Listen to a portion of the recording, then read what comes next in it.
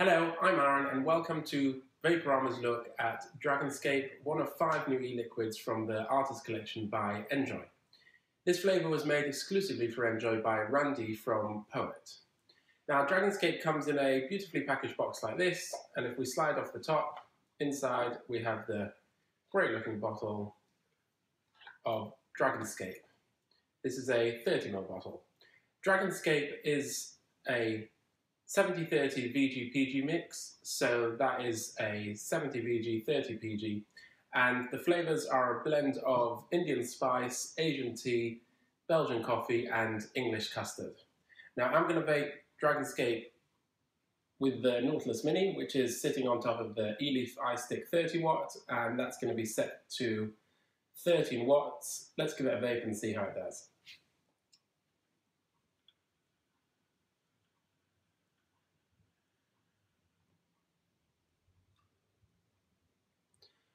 So on the inhale, I'm getting the Belgian coffee and the English custard. It comes across a bit like a chocolate to me. Let's see what I get on the, on the exhale.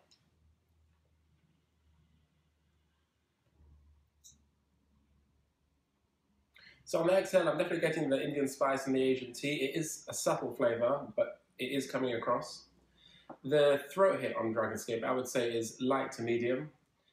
So all in all, Dragonscape, is a luxurious, earthy tasting e-liquid with a full-bodied, creamy texture.